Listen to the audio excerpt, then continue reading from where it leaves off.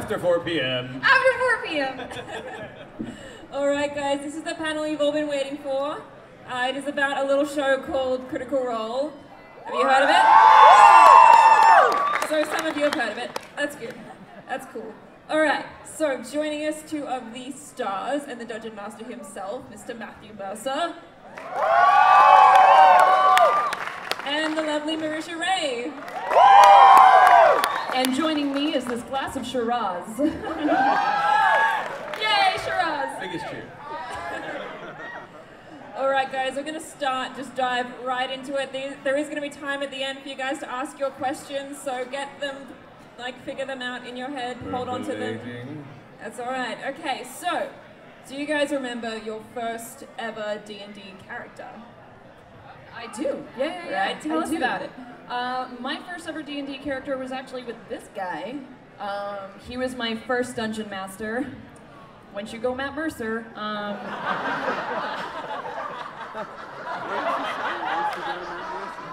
Sure. All out. Um, so I had never played before because I grew up in a small town in Kentucky where um, Dungeons and Dragons was a, a ritual cult or It's the something. devil! It's the devil!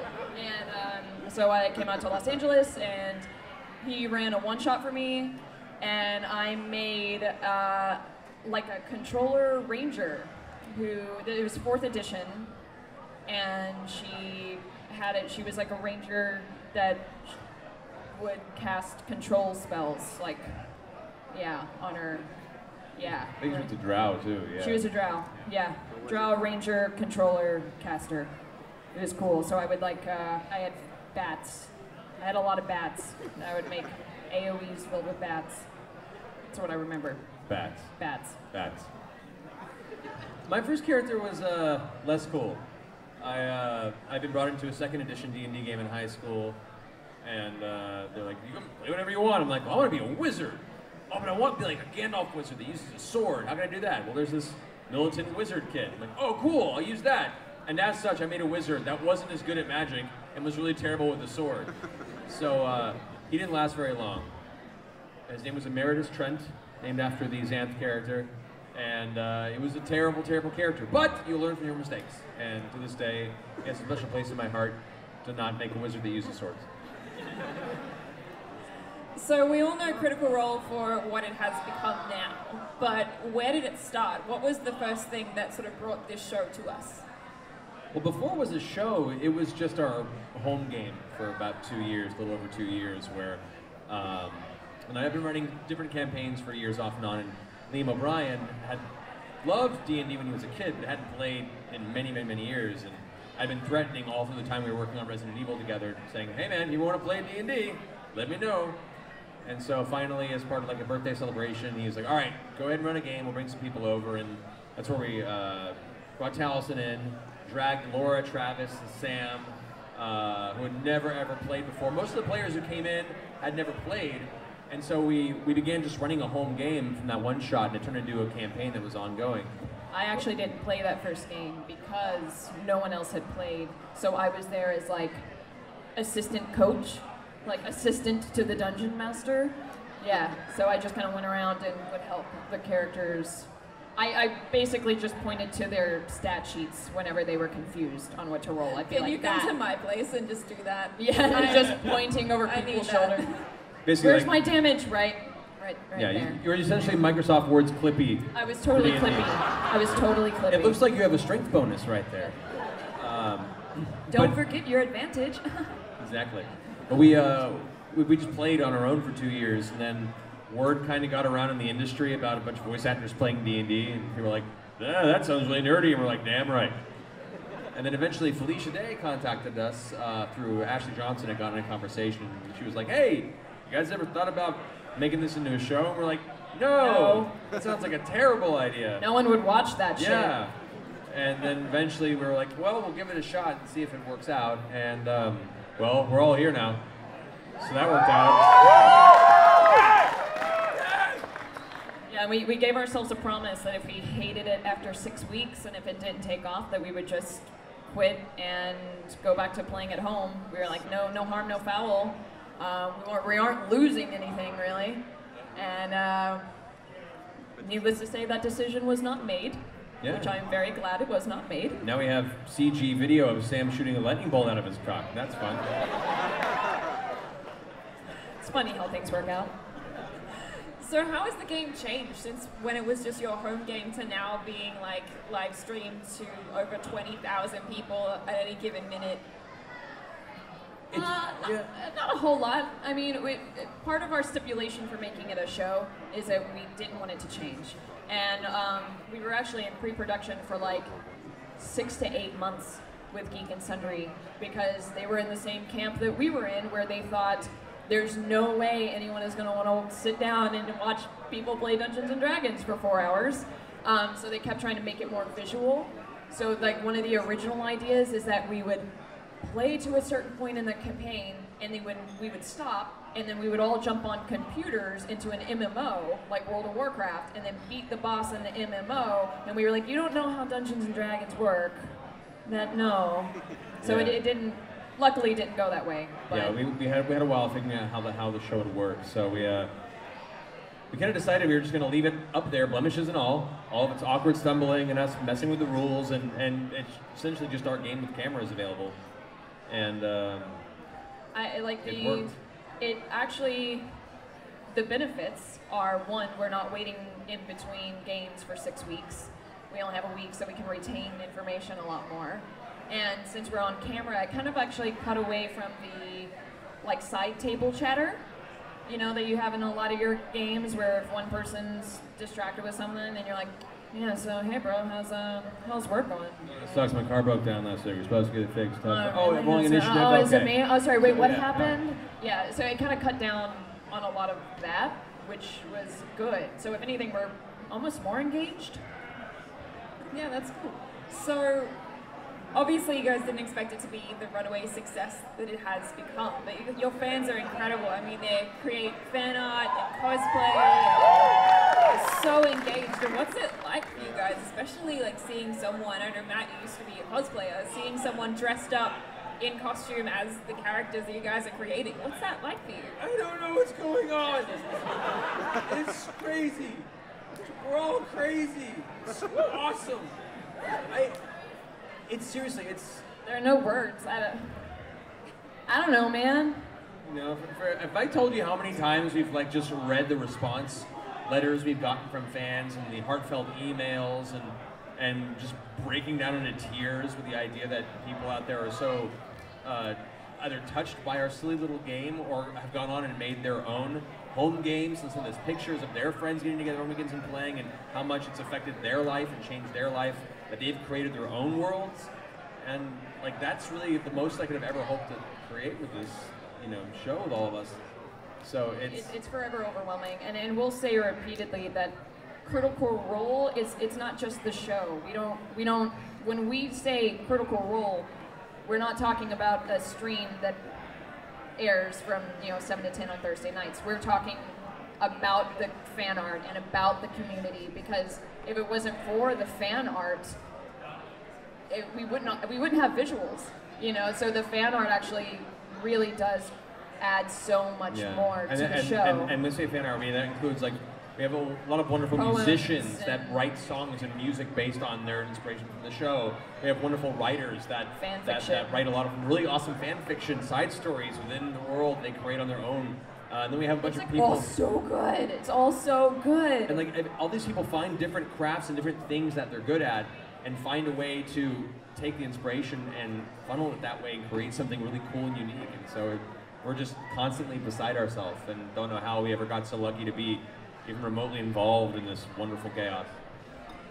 Can we Yeah. get like a show of hands if you've ever made Critical Role fan art or cosplay or written something or engaged with the Critical Role community? see, Oh, that's see, so look at how many, and that, that That's crazy. yeah, it, it accounts for like fifty percent of what we are for sure. And That's uh, awesome. yeah, we're, we're just always so humbled and I don't, I don't know, not to like go keyleth on everybody here for a minute, but like we're not heroes, you know, we're not special, we're just people, and uh, so just that. You totally went Keyleth. I did. We're not. We're not. Um, so just to have anybody to say that like we've moved them or affected them. It's just like I don't know, I'm gonna stop talking about it so I don't start crying on stage. Just drink. I drink. So Matt, the question that I think every DM in the room wants to know is how do you prepare for a session? So how do you get that ready? What's Ah. the process? Okay, so it changes based on, on the story elements and what's happening, but I generally try and try and foresee possible directions the party may go based on what happened in the last game. So I'll uh, consider those paths. Uh, like maybe maybe they'll go and this one story lead I left them a while back. They'll pursue that this direction, so I'll flesh out this path and whatever NPCs they may come across and possible encounters they may uh, circumvent or go head on into. And I'll prepare that from multiple different avenues. And I, don't I don't flesh it out too crazy because most of that was going to go out the window the moment you play anyway, because the players do the most random shit ever, and you have no control anymore. Cows. So Proudest moment. So I, I- I usually I, I break it down in like a Word document, and I'll, I'll have bullet points with major important points of information.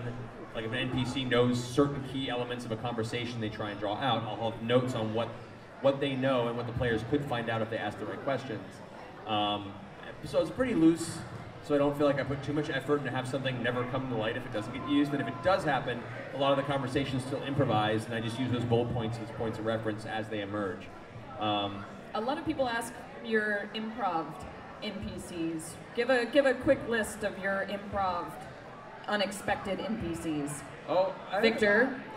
Uh, Victor wasn't expected. No, there's, there's a lot of them. Kynan wasn't expected, right?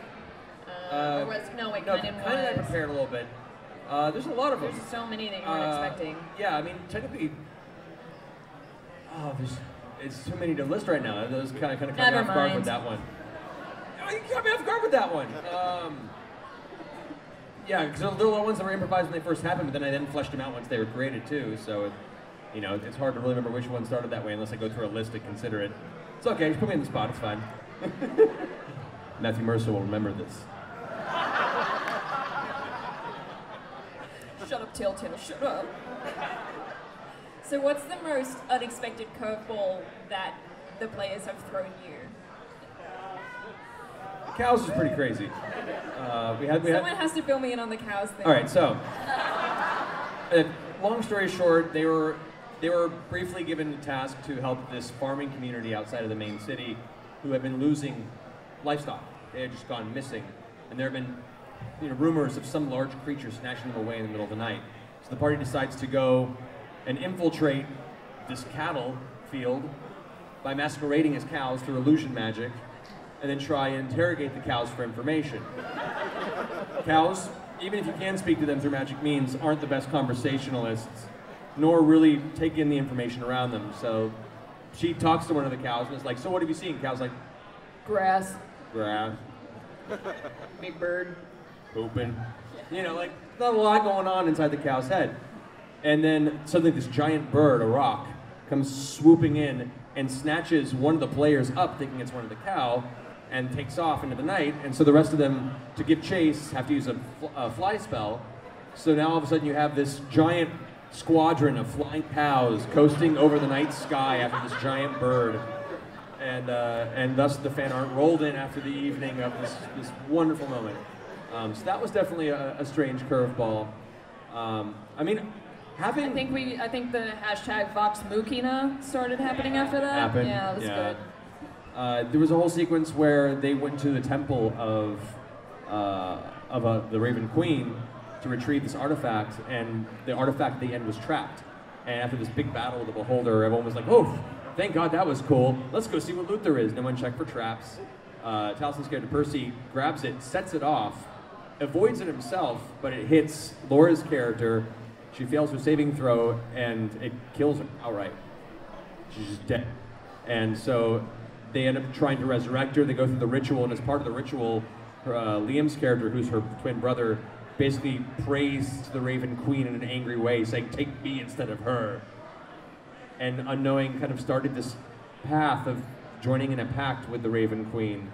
Uh, None of that was planned. none of this was expected. And now suddenly this entire character story is completely changed based on this one improvised character moment.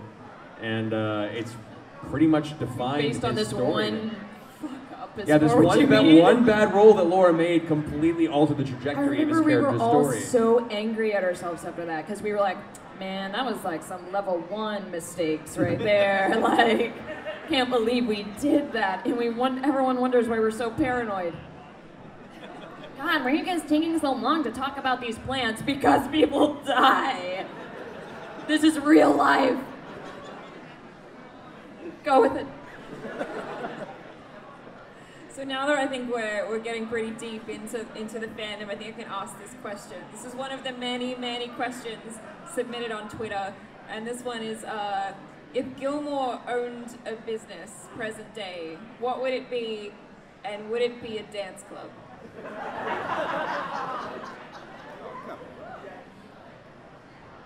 I, I think one of his many businesses in modern day would probably be a delightful dance club. That I mean, hell, I'd frequent that I'd dance go club. there. Hell yeah. Gilmore's Glorious Dance Floor. Yeah, Gilmore's Glorious Grooves. there it is. It's like, oh yeah. That's right. Shake that moneymaker. yeah. Uh, other than that, it'd be. He would probably buy out the Men's Wearhouse and make it so much more fabulous. I think business suits and everything. would- Everything would be rhinestones and glitter. It'd be marvelous. You're gonna like the way you look. I guarantee. I'm gonna like the way you look. Yeah. Everyone's gonna like the way you look. Trust me, I know what I'm talking about. Okay, so now that we've all experienced that, bringing it back a little bit, uh, tell us uh, more about you, your background sort of in tabletop gaming. So where did it all start for you and, and what sort of encouraged this love of, of gaming really? I kind of briefly mentioned it before. With he was my first DM, and then I um, that was just a one shot, and then I was I was hooked from there on out. I I think I had an adrenaline high for like the rest of the evening after that game, and then um, from there on out I sought out my own games, and I ended up doing like a, a Buffy a Buffy the Vampire tabletop RPG for a while, which was great. Um, a few other like kind of like shorter campaigns, little one shots, and then came back around for the game before this one, uh, which was with you and yeah, Taliesin. Taliesin, uh, yeah, yeah, a few other people. Um, and then that was our long-running game for about a well Years, for two two years. years, and then from there jumped into this game. You're uh, that's a deeper question for you. I started way back before there was time and deserts in the ancient dark days of 1997.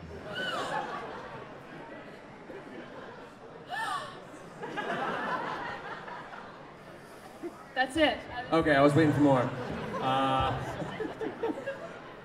uh, yeah, it was, it was, I was in high school. I was invited to be part of a game, and I was excited. And I made a terrible sword-wielding wizard we talked about, and uh, we played for a few months. And I realized very quickly that the dungeon master was running the game was really frustrating, and was playing more for his own personal empowerment and power trip type circumstance than trying to tell a good story and a narrative.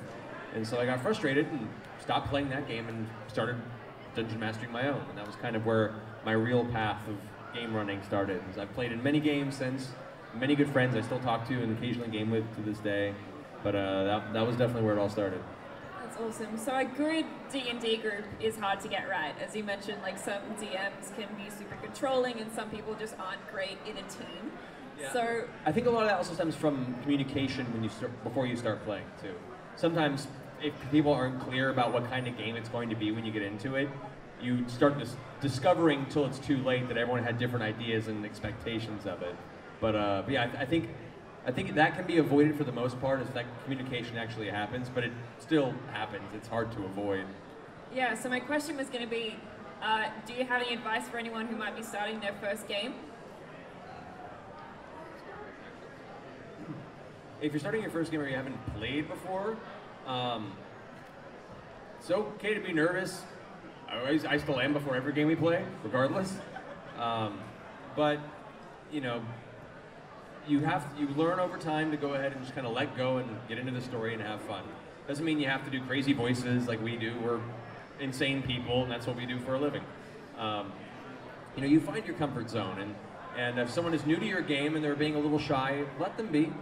Give them opportunities and try and elevate them and give them the spotlight occasionally. If you have that one player in your game you know that usually takes the spotlight and stands up and kind of overshadows the rest, perhaps talk to them and let them calm down a little bit and let somebody else step in and you know be in that light as well. But um, if you're just starting, definitely um, take the time to build a character personality that you would be comfortable playing for an extended period of time. You know, it could be something that's opposite from you that you want. If you're kind of a meek person, you can try and pick something that's more strong and bombastic in hopes that maybe that'll help pull you out of that shell a little bit. Um, conversely, you can pick someone who's comfortable first as well. Just make sure that when you have a character uh, that you've developed, uh, you have a clear enough idea of how you want to play it so that when the opportunity arises, you don't feel, uh, for lack of a better term, you, you, you lack. Trapped?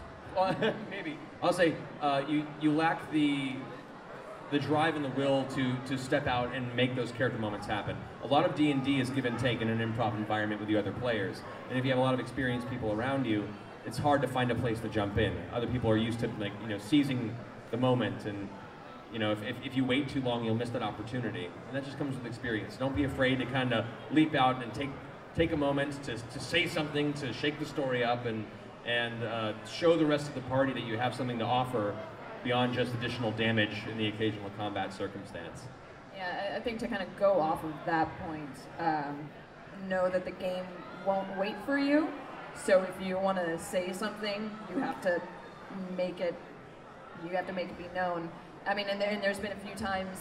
I'm sure you guys have all noticed most of them when something might happen and one of us will have an idea or want to try and say something and then a moment will come in and take it off in another direction and then it's gone and and you have to let it go. I mean, it, once again, it's just like life that happens sometimes. Um, but don't be afraid to, if you want to say something, that you jump on it immediately.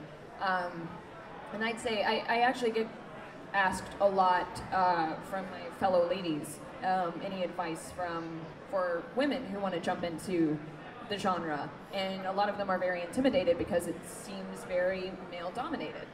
Um, and and that's it's such a that's such a tough layered question to answer in so many ways. I mean, in two ways. One, we look out in this audience, I, I like half of them are women.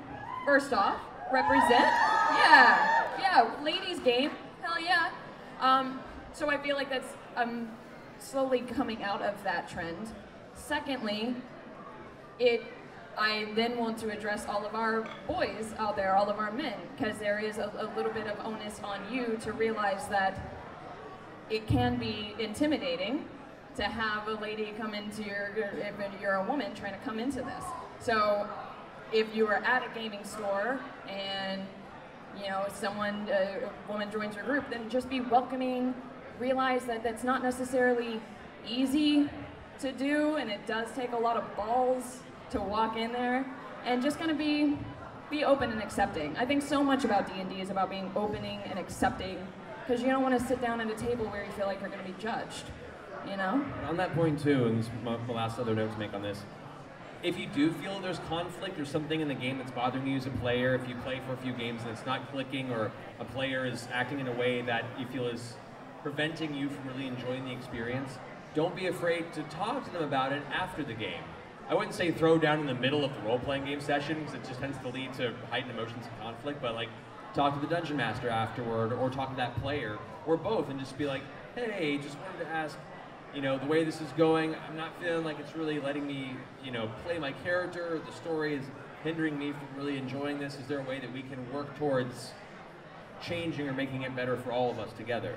And uh, most people will be happy to. They just weren't aware that there was a conflict of that type of circumstance. Uh, and if they aren't willing to, maybe you to find another gaming group. Um, yeah, those, those are my biggest suggestions. Super helpful. So I know that you're all bursting to ask your questions. Uh, Wonder Woman is our roving mic tonight, which is just a really fun thing to say. So put your hand up if you do have a question, and Wonder Woman might choose you. Come on, Wonder Woman. I choo choo choose Pick you. the person. I'm going to get my water. Some great NPC character voices. Any chance of an Australian one? When I get comfortable enough with the dialect to not embarrass myself in front of all of you, yes. Uh, I'm, I'm, as a performer, I'm always working on different dialects and accents, and the Australian is one that I've only in recent years been really trying to take a crack at, and I'm not quite comfortable yet to go all in with a character in that regard. We try not to be offensive. Try. And if I- Emphasis on try. And if I do it and it sounds awful, it's only because it's a fantasy world where there aren't actually Australians. It's its own unique dialect that might loosely at times sound sort of Australian, but it's my world, whatever. Question. Got another one over here. Hi, Matt. Um, got a question about uh, foreshadowing, story hooks, and villain progression. So I want to know, without giving too much spoilers away, and I won't mind if you choose not to answer this, but back in the pre-stream when the group fought Brimscythe, was there anything they would have encountered that would have stopped Thordak from returning?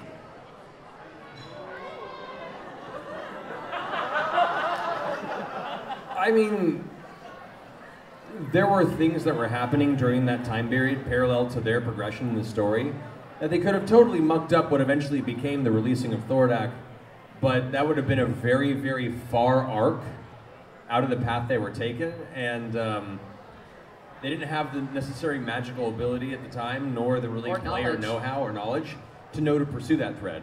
As far as they knew, Brimscythe was a singular entity, and the what brief hint they had of the rest of the Chroma Conclave with the other Obsidian spheres in his lair, uh, it was more like a, oh, that's not good. Let's not go there ever again. Slowly step out and pre- eh, pre- let's say that never happened. Yeah. Yeah, no, we basically, there were evil eyeballs in a bunch of crystally orbs, and they were like, we saw what we, you just did, we're coming for you. And we were like, well, that's ominous. Hmm, Anyway, moving on. And we're like, have no context for that, and kind of just kept going. Yeah. We, I think we all had that moment where we were like, man, this is gonna come back to haunt us. Moving on.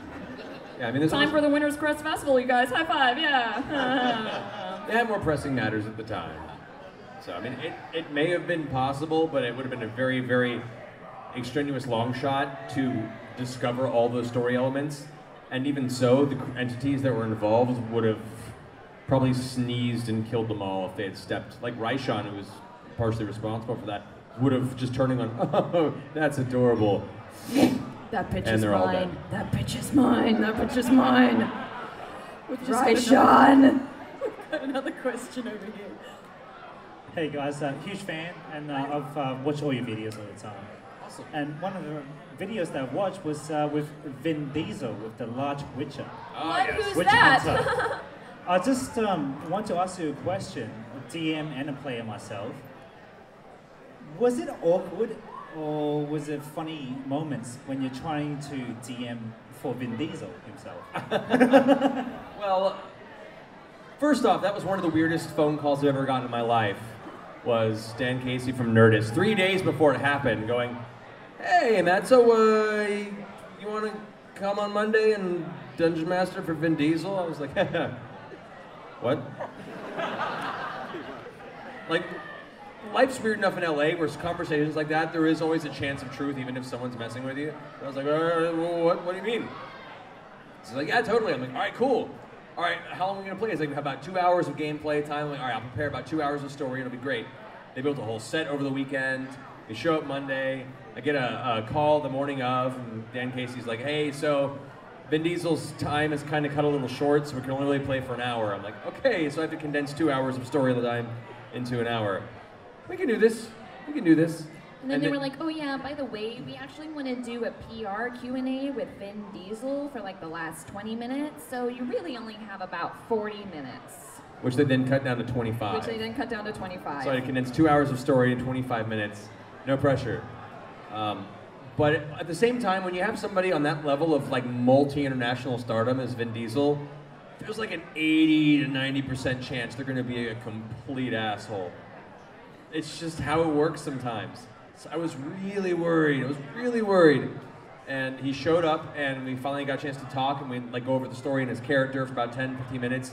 And he was the coolest, chillest dude ever. He, was, like so nervous. He was like, I'm so excited. I haven't played in a while, and I hope I do okay. I like the idea of the character. Okay, cool, we can do that. Oh man, I'm really excited. Thanks for having me on. He was just like a very, very cool guy. I was super excited. And uh, he was a little rusty at first, and you see him kind of as you watch the video, he kind of has to get into it. Takes a few minutes, but it, as soon as he rolls that first natural 20, he turns into a big eight-year-old, and is like, "Yeah, critical!" That was when I knew we had him. I was like, "We got this. We got this." Jesus. You were just talking into your no, wine, I weren't wasn't. you? No, I You wasn't. You were talking I into your wine. No, that didn't happen in front of a bunch of people. Uh, shut the fuck up.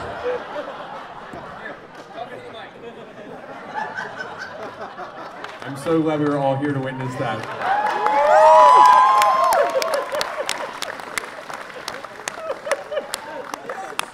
That was the most LA thing I've ever done. Um,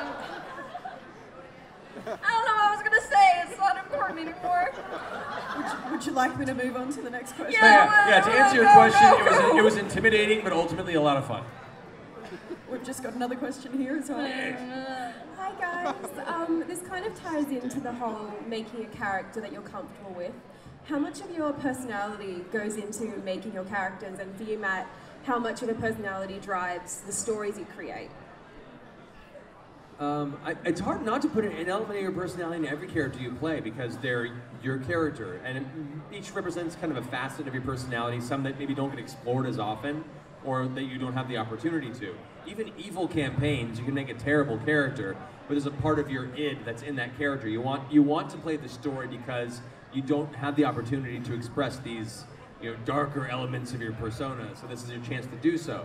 Um, so it's hard not to put yourself into a character to a certain extent. Uh, I mean, technically, if we want to get all actory woo-woo on you for for a hot second, um, Stanislavski, the Stanislavski method actually kind of works a little bit about like this, where you you make a table like a T-chart, and whenever you have a character, you write down all the things that you're alike with that that character, and then all the things that you're not alike with that character.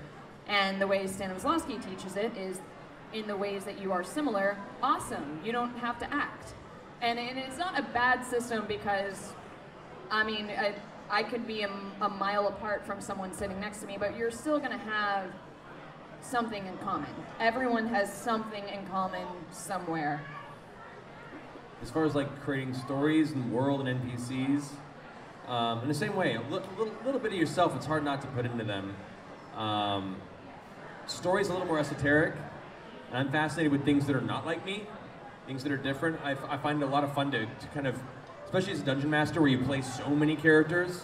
Uh, the part of the fun of that, the thrill of that, is being able to express so many different uh, things that are outside of your comfort zone. I really enjoy being able to step in and play female characters across the spectrum, from like very, very powerful, strong uh, personalities to you know sly, dark, somewhat manipulative individuals. And then as far as dudes go, I get to play a range of you know dumb, grizzled, you know outback farmers to uh, very, very intense politicians to all these different things that are not at all like me, except for little bits here and there. You find that that seed of truth is what you build on each time. Um, so yeah, but, but for making characters, it's hard not to put a nugget of yourself in there, really. I've got another question over here. Yes. So you've got a backstory you've said you've written for both Gilmore and Allura. God forbid anything happens to them because we love them. But would you post online their backstories for us to read? Perhaps one day. I mean, it's it's one of those things where um, when you're developing a world of this size, and it's a lot to develop, um, with a lot of expectation, a lot of eyes on it. There's, I have to find a fine line between revealing information that's already been revealed and things that are still behind closed doors. There are things that may, that probably shouldn't be revealed because the party won't know. And if I've learned anything and there's information online, everyone's going to tweet it at my players. I can be like, this is the thing that's happening, but don't tell the players within 12 hours. Like, hey Liam, look at this thing! and of course the player's are gonna look. So like, I, I, I purposely keep a lot of things close to my chest because I want it to be a surprise for the players and for the watchers. Yeah, by the by, if you uh, tag us in the tweet, it does mean we can see it. not a lot of people understand that concept. Yeah. Like, Oh my god, I hate that episode. I hate watching that Marisha Ray's face. You're like, she sees that tweet. And I'd be like, Dude. hey, dude, and he's like, I didn't know. I didn't know you're. I'm a big hi, hi. And I'm like, I, I'm. You Big can fan. see that. Big fan, I love cues. I'm sorry, I didn't mean you. that. Like, dude, it's cool. Just don't put me in the tweet. Um, but yeah, I, I think eventually, like when this arc finishes and things are revealed, I'll probably do, and I'm talking about this a little bit, when when when Vox Machina's story ends, um, do a big Q and A with like all the things that people didn't know and questions that I can't answer now because that part's over. I'll be happy to discuss. No, we, we want to. We've been planning as a group that whenever Vox Machina story comes to the end, we want to have like at a tavern with some drinks, and it's us like talking to St. Peter at the pearly gates and being like, "All right, dude, so tell us this one time that the beholder did this thing, and could I have avoided it? And you just tell us all your secrets. I'll tell you all the secrets. I want all the secrets. Can't tell you all the secrets. All. Can't can't tell you all the secrets. Yes. Not happening. Okay, moving on. We've got another question over here. Um, in any game, past or present, do you have a favorite trick or cursed item? I, I'm, I'm sorry, what? A favourite trick or cursed item?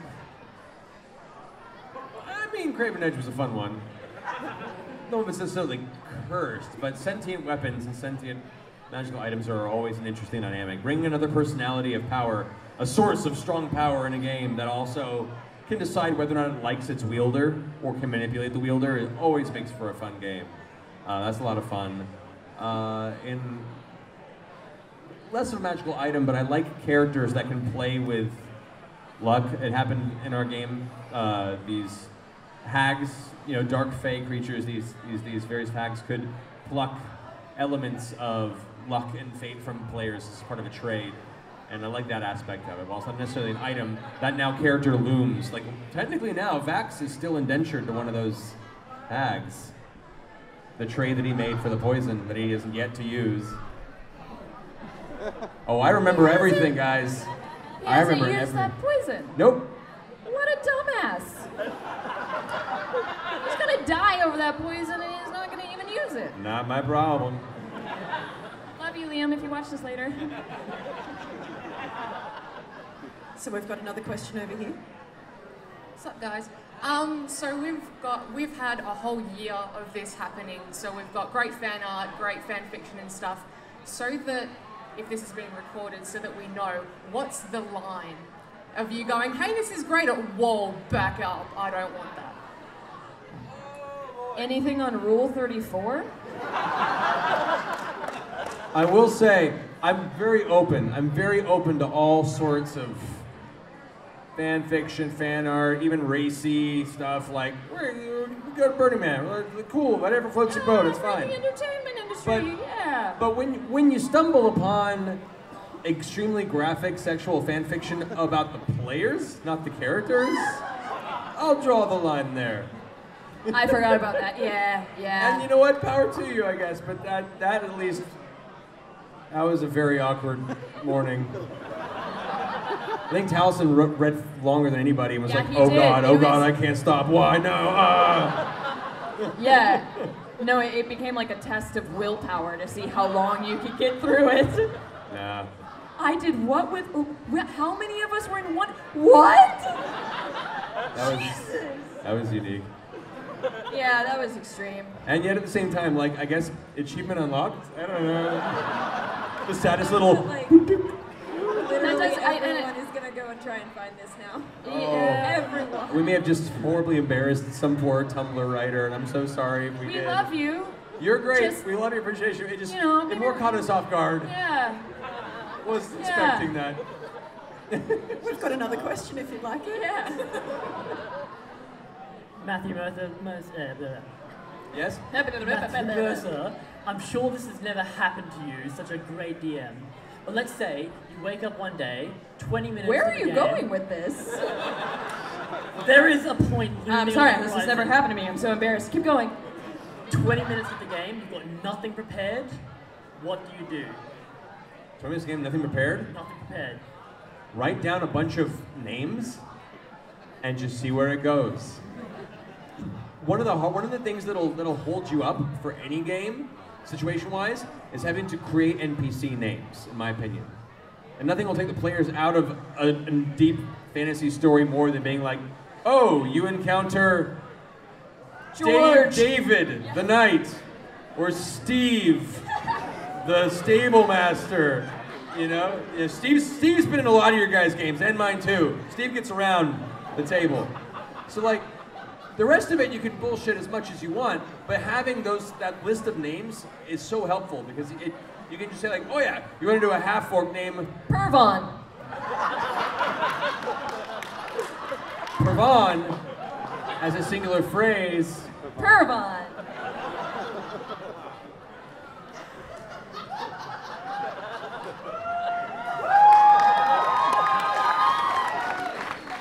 That's an actual name. And all the people out there's name is Pervon, who watch the show, hate all of you now. But I love you, Pervon. We've got another question up here, if, unless you want to continue. Uh, I was saying to just to finish it real fast. Once you have those names down, the rest of it you can bullshit all you want, make up whatever happens. But that to me has always been kind of what can really sell a story you're making up or not is to have those names that go and any NPCs they encounter like that. Monsters you can make up stats and go if you want to. You can just see how the dice roll and be like, oh yeah, that seems like that should hit, or oh that missed, or you know, oh you find a crystal that hums and whispers the phrase "Golden Girls" over and over again. What what does that mean? Let's find out. You know, you can make up whatever you want, but the names make it easier to get Monday, there. Tuesday, happy days. Whoa, holy shit. What is this tone? It's a great module, by the way. The Happy Days module, Yeah. highly recommended. What was the, the, the book we found in the, the store, the games at Game Empire? And it was like the GM's, it was like called GM's Gems or something like that. Yeah, it was a cool book called GM, uh, GM's Gems that has just a bunch of resources for game masters that have uh, tips and tricks on NPC creation, world building, magical item development, and a bunch of examples you can pull from that as well. It's, it's Yeah, it had like a list of names. It had a list of like NPC quirky hooks.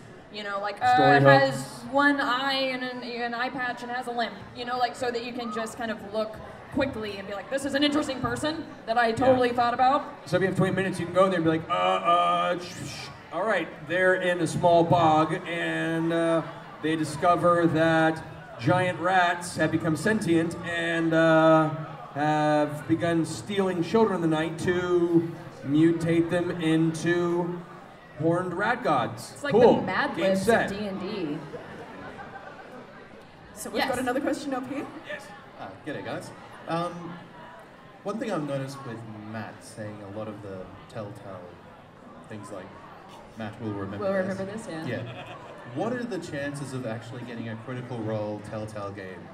And if it was in the works, would it be a pre-season one, a post-season one, or would it be would it follow an NPC? Uh, I mean, I'd love that. That would be awesome. I, I, I think when when their licenses involve Minecraft and Batman, Batman. our lowly D and D Walking game isn't quite going to call their attention yet.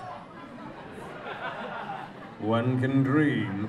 Um, Yeah, I mean, we, we know a lot of the Telltale guys too, and but they, yeah, they're doing their own thing I mean, right now. Between Minecraft and Batman and the Borderlands thing, most of our party has worked with some Telltale, to some degree. yeah.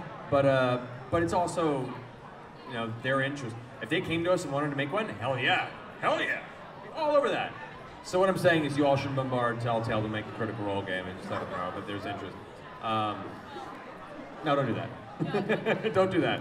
That comes that can come across as a little. Let's just say there are things being worked on.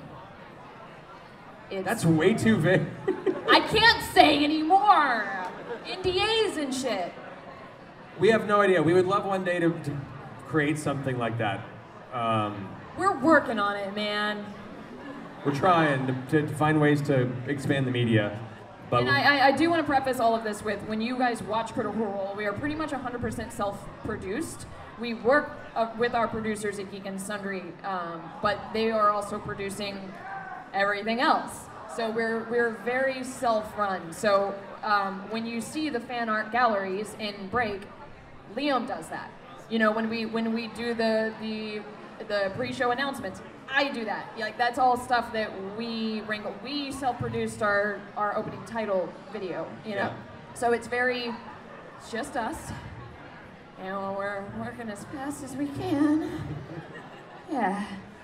I think we got time for one more question. We've, we've actually been given a few moments more to ask some more questions. you do? Say, lovely. Yeah, you guys, you guys are special. We love you. Okay, we've got a question here. Question, please. Um, I was just wondering if you could do the Gollum voice. Something about the Gollum voice? Yeah, just wondering if you could do the Gollum voice. If I if Go, Matt, do- go. Well, Liam could do it a lot better because he actually does Gollum, Gollum. before the games. But uh, I can definitely. Let me see.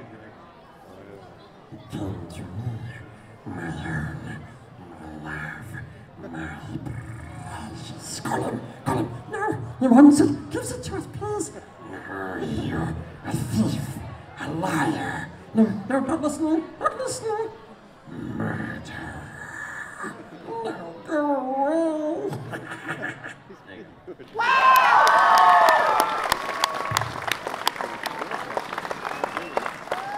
So we've got a question over here. I do not need your mic. Yeah, I was just wondering, um, in Vox Machina, a lot of the characters multi-class for story purposes, but Keyleth is one of the characters I don't see multi-classing. So if you could, what would you be and why? If I if I multi-classed into anything.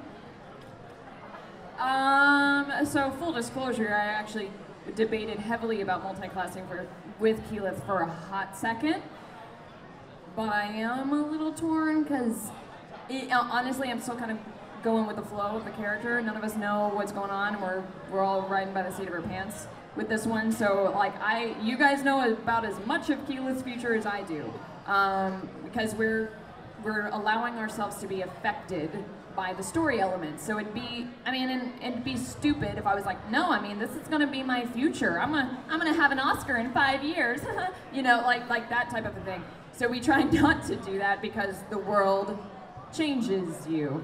Um, so I, I did debate for a hot second when Keyleth was kind of really getting, she was very angry. She's pulling out of her anger phase.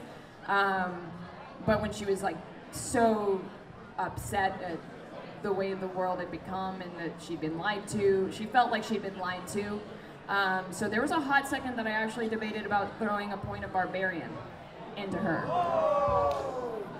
Yeah. Uh, raging and wild shape is Raging no in wild joke. shape, yeah, yeah. That is no joke. So I, I, I thought about, um, and it was actually, I thought about it, I'll tell you the moment that I thought about it. And it was after the fire Ashari had gotten wiped out. And, and I leveled shortly after the fire Ashari got wiped out. And uh, then there was like the few times at like Whitestone where I started using my uh, Firestorm spell.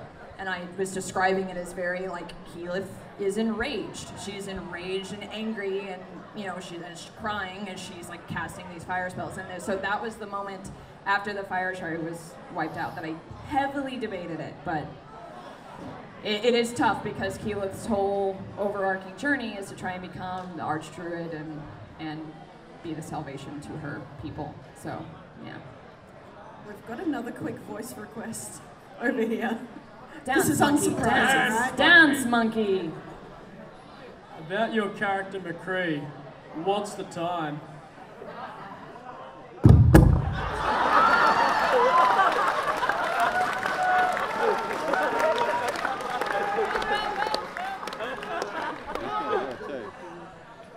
He's gonna do it. I just like indulging anticipation. It's fun. I'm just enjoying Overwatch like a happy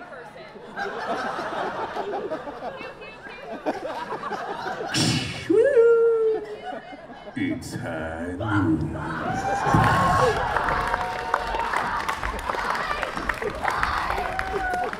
Someone call the Undertaker. And now we've got our final question. Okay. Um, some of my hi. Hi. Some of my um, Marisha. Yeah. yeah. Hi. Some of my favourite moments in Critical Role have been the character interactions, whether it's between the player characters or between like the NPCs. I think my favourite to date is um, Gilmore and Keyleth teleporting to find a very naked Vax. and just that reaction. There's been a lot of player nudity in recent games. It's, just, it's been a theme recently. I'm like, okay. You know, I think all right. everybody is okay with this. Hey, body pride. All right, be Oh, comfortable with yourself. there's nothing wrong with it. No body shaming. No, there's nothing. I'm not shaming anything. It's just, it's just the Free the nipple. It's the trend that started happening more often recently. I was like, oh, alrighty. Anyway, your question. Dragons are destroying the world. Do you think we give a shit about seeing each other's titties?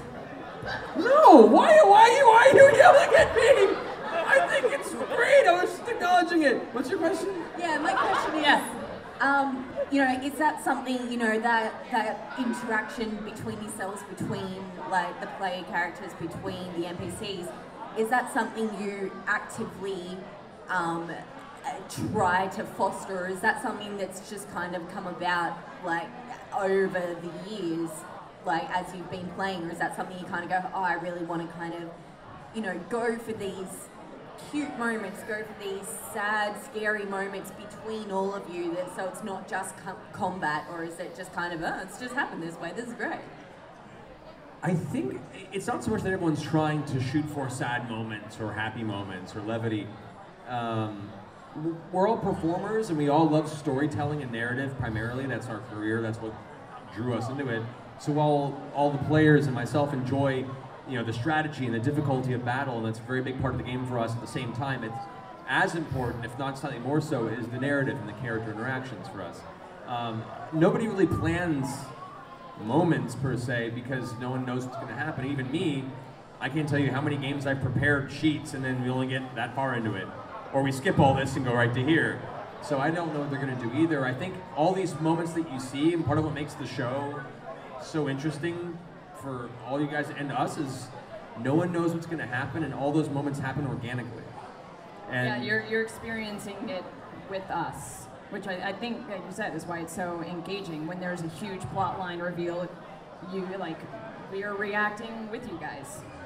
Yeah, it's it's it's that kind of and for us, the thrill is for me knowing what's going to come, dropping it, and seeing how the players react and take it, and in many cases taking it in directions I don't expect, and uh, and that's really cool for me too. So I don't think anyone plans specifically, except for maybe Sam. Sam plays the long con.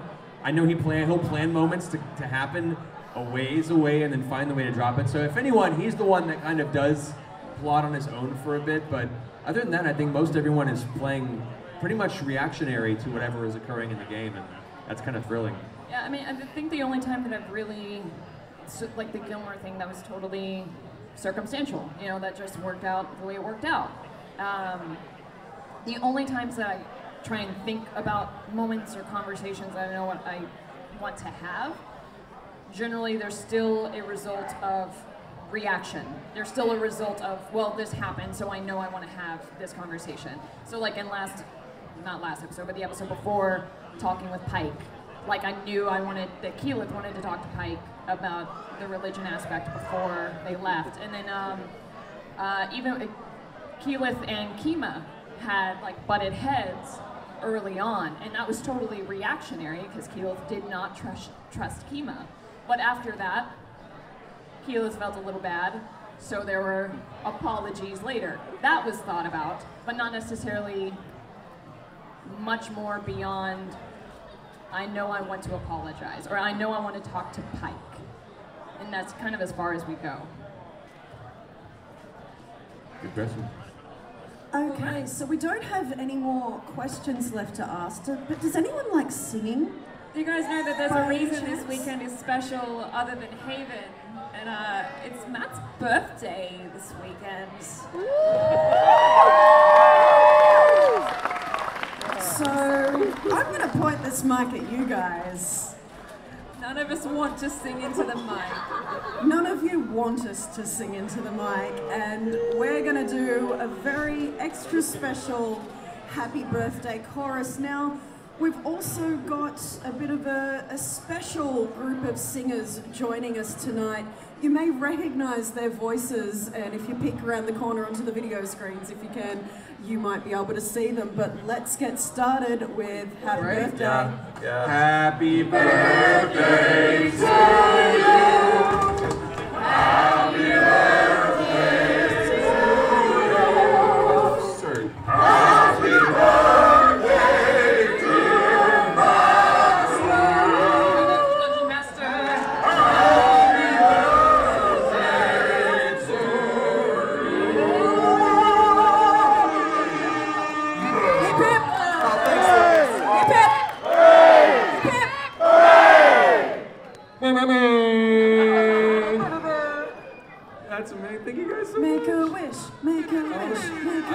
a I'm gonna wish. blow the imaginary candle.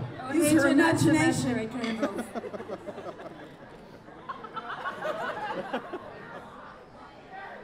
These are OH&S approved candles.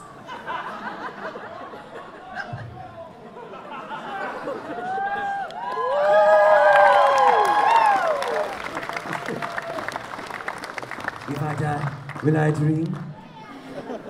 For all the South Park fans out there. All right, This is amazing. Thank you so much. Thank you, everyone, for coming out to the panel. Thank you, Matt and Marisha, for being amazing guests at Haven. Wants cake? Yeah, it's cake time.